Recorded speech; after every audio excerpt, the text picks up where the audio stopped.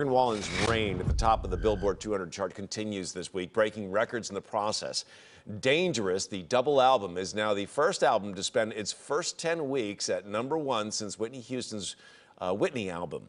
That was back in 1985. Wallen's album hit number one as a video of him surfaced in Nashville using a racial slur. He has since apologized and said he has spoken to black organizations and had real and honest conversations.